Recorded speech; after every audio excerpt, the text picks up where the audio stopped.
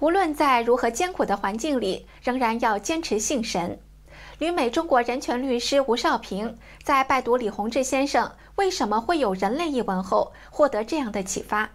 他表示，这篇文章告诫世人要积德行善，启迪人心。这一篇文章啊，不仅呢啊阐释了他对这个呃人类社会为什么会存在的这个理解，在同时也通过这篇文章在劝喻和告喻呃世人。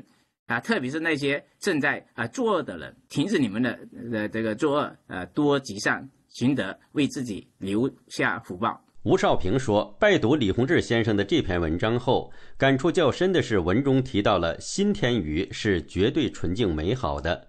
那么人类如何才能回天呢？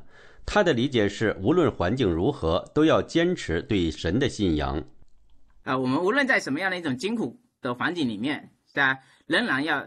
啊，坚持自己的这种啊信信仰，面对这种纷繁复杂的这种世界，仍然要记得，是吧？我们应当要继续信神，是吧？这个世界是神啊创造了一个世界，不能因为这个有这些无神论啊、进化论啊啊，包括我们人在生这个生活当中受到这种苦难啊，然后呃呃呃放弃啊对神的这种呃。呃，信仰。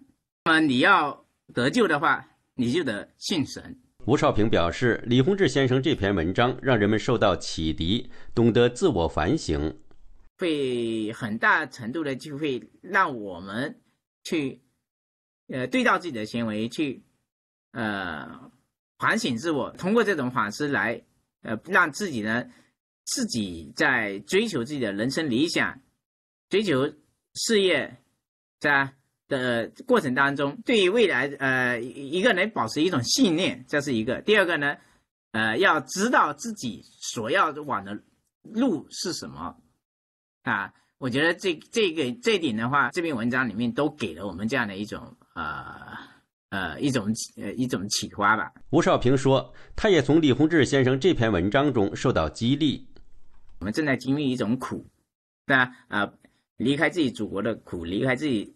自己这个国内亲人的苦，但是我们，呃，仍然要保持自己的这种，呃，对纯净美好的一种世界的一种向往啊，对美好中国的一种向往啊，在艰苦的环境中，仍然要予以这个啊，继续的呃坚持，是吧？并且保持自己的这个善念不变。吴少平对李洪志大师表达由衷的敬意。